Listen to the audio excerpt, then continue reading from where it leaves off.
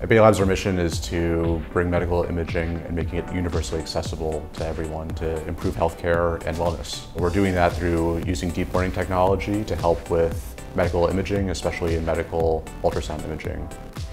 In this field, what it's really trying to do is just capture some of those things that are unique to humans. Like for example, looking at a photo, uh, let's find that face using machine learning, and let's also identify this as your, your sister, for example. So our deep learning technology helps expert professionals acquire and interpret uh, medical imaging using ultrasound.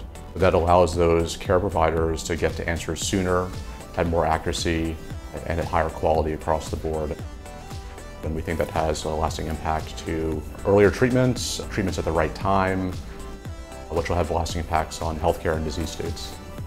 The NSF has been really important in uh, initial development of the technology, really being able to bridge the gap from an idea through the technology development to demonstrations that then uh, helped us to gain uh, venture capital funding.